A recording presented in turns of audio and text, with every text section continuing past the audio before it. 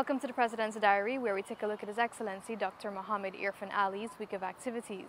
His Excellency started this week by addressing the nation on government's interventions to assist teachers. We are very committed to ensuring the life of every Guyanese improves and gets better. We are committed to ensuring that we bring prosperity, we build systems that empower people, that uplift your standards, that give you a better shot at life. That is why we're investing in your education, your health care, giving everyone an opportunity to earn a degree. And I am, you know, I'm very concerned that the political actors in our society, those political actors who are trying to uh, use our teacher, and I'm using this word uh, very frankly, because they are aware, they're aware that we are committed to a plan in which our teachers will be uh, not only prime beneficiary of the development and advancement of our country, but that their position will be comparable to anywhere else in the region. But of course, it takes time. We have announced a series of measures to improve the lives of teachers, nurses, and public servants. And these measures are going to continue even before the end of this year. No one needs to push this government. We are committed to this task. We are committed. I come from a family of more, more than 30 teachers now. No one needs to convince us about uh, doing more for our workers, our farmers, uh, our, teachers, our nurses, our doctors.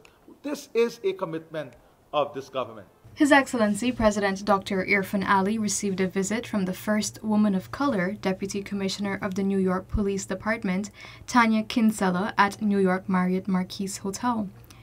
The head of state and Kinsella, who has Guyanese heritage, discussed a potential partnership between the Guyana Police Force and the NYPD.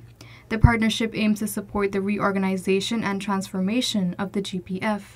On Tuesday, President Ali addressed the United Nations Security Council UNSC, open debate on the impact of climate change and food insecurity on the maintenance of international peace and security. Some 122 million of those facing acute food insecurity are in countries experiencing conflict. 82% of the total, accentuating that conflict is the primary driver of acute food insecurity in Africa. And the same can be said about Haiti. Internal conflict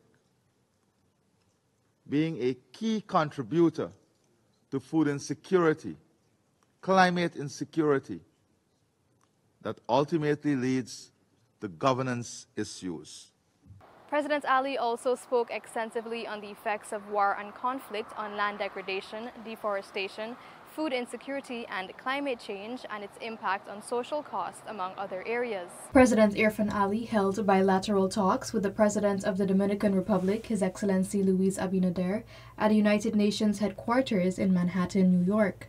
Discussions focused on expanding and enhancing the current bilateral partnership between the two countries regarding enhancing private sector collaboration. On Tuesday evening, the president hosted a reception at the TWA Hotel in New York in honor of Guyana assumed presidency of the United Nations Security Council for the month of February. His Excellency received a courtesy visit from the permanent representative of the United States of America to United Nations Ambassador Linda Thomas Greenfield at the UN headquarters. Discussions focused on enhancing and expanding the relationship between Guyana and the U.S. Ambassador Thomas Greenfield expressed her country's unwavering support to Guyana, especially as it relates to defending its territorial integrity. His Excellency President Dr. Irfan Ali met with Deputy Director General of the Food and Agriculture Organization, FAO, Beth Bechdol. During the meeting, President Ali informed Bechdol of Guyana's expansive and robust development of the agriculture sector, especially its focus on leveraging technology prioritizing women and youths. On Wednesday, the head of state emphasized the salience of fasting for Lent. On behalf of the government of Ghana, I want to take this opportunity to wish all Guyanese, especially our Christian brothers and sisters, a Lent period in which there will be reflections. Reflection with an aim at improving ourselves. Reflection, understanding the importance of sacrifices and the greatest sacrifices that were made. Greatest sacrifice that was made to give us the gift of life. Let this period of Lent be a period of renewal, a period in which we dig deep and we fix our brokenness, in which we support the building of a stronger society.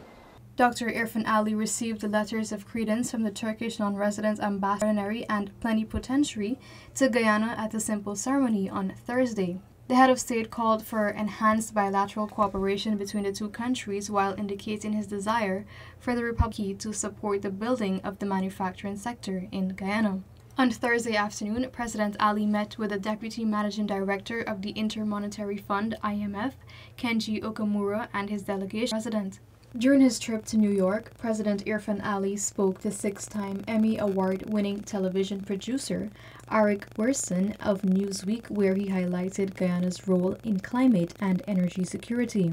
When you look at the size of the market that we have access to, then you understand how a small populated country, but with huge land mass, can play a more integral role in the key areas of concern for the global community and the regional community. And what are these areas?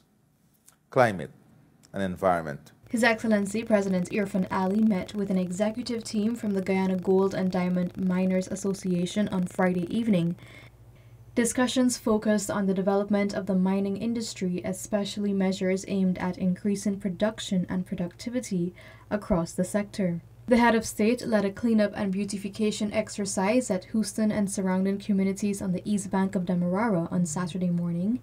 The president, through his Men on Mission program, MOM, joined hundreds of volunteers in cleaning the roads, parapets, and drains, and painting and beautifying the median along the highway. This was the President's Diary, where we took a look at His Excellency Dr. Mohammed Irfan Ali's week of activities.